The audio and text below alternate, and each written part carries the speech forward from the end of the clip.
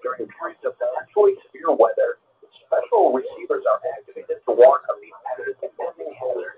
Tests for these receivers are normally conducted by the National Weather Service every Wednesday between 11 a.m. and noon.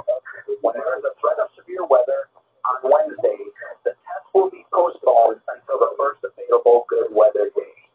Reception of this broadcast and the warning alarm will vary